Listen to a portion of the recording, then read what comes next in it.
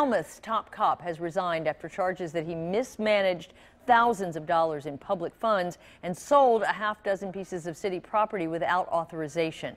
We broke this story on WCPO.com and Nine on Your Side's Tom McKee has been digging deeper into the charges and reaction to them. Here's what he found.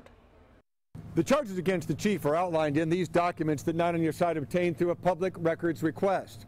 They include selling former service revolvers without permission and failing to account for monies that were used for undercover drug buys.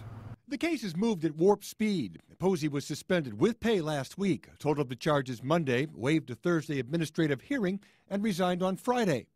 Digging into the charges reveals little accounting for $4,190 in city funds for undercover drug buys.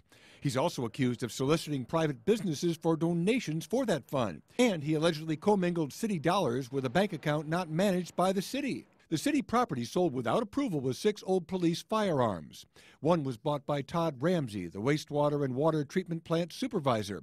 Ramsey didn't want to talk on camera, but confirmed to me he bought one, cooperated with investigators, returned it, and got his money back. I talked with dozens of people here in town. Some said they were surprised, some said they weren't because it's a small town. But everyone said that the violation of the public trust is what gets them the most. That includes Virgil and Kathy Reynolds. I think if he, if he broke the law, he should pay. He should pay for it. Actually, I mean, he can't break the law and get by with it. The law breaks the law, they should pay too.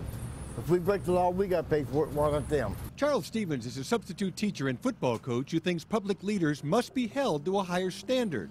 What's being said he done right now, he took advantage of his situation, being a public official, and I think that's pretty wrong. Neither Mark Posey nor his attorney, Robert Winter, have made any statements so far. Nobody at Falmouth City Hall wanted to go on camera Friday.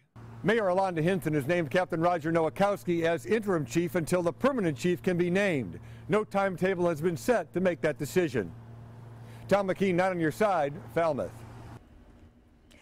Thanks, Tom. The excuse me, the Pendleton County Sheriff's Office is helping Falmouth police with patrols during the transition to a new administration.